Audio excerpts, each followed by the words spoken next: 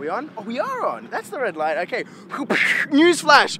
Bioweapon has made it safely into the country. Yeah, they let us through customs. That was a miracle in itself. And now we've hijacked this windmill, as you can see in the background. And that's our place of residency That's for the next that- six weeks. Absolutely, yeah. So, for the next six weeks while we're in Holland, we're going to be playing all around the country and even places outside. It's very, very exciting for us. Yeah, man. Very we're happy to be here and hopefully we don't get kicked out.